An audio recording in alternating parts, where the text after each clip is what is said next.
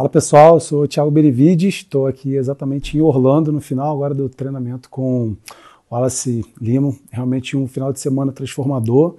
acredito que se você está em busca de uma compreensão maior de como que funciona o universo, como que funciona a sua mente, como que funciona os seus paradigmas, por que, que você tem o resultado que você tem na sua vida e o que, que você realmente está buscando alterar realmente na sua realidade.